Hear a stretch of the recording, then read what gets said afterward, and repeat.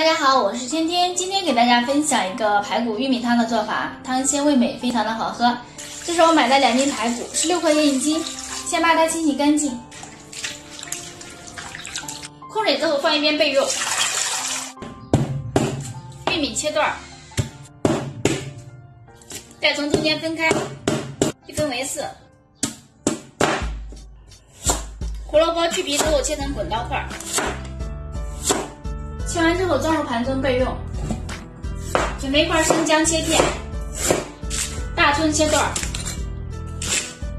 锅中倒水，冷水加入排骨，加入姜片、葱段、料酒，大火把水烧开。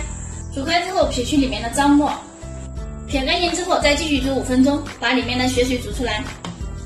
煮好之后捞出控水清洗干净。洗净的排骨倒入砂锅中，加入玉米、葱段、姜片，再倒入过滤水，盖上盖子，先开大火把水煮开，然后再转小火炖四十分钟。四十分钟之后，加入红枣、枸杞、胡萝卜，再加入一勺盐，盖上盖子继续炖二十分钟。时间到之后打开看看，哇，闻着都好香啊，看着非常的有食欲。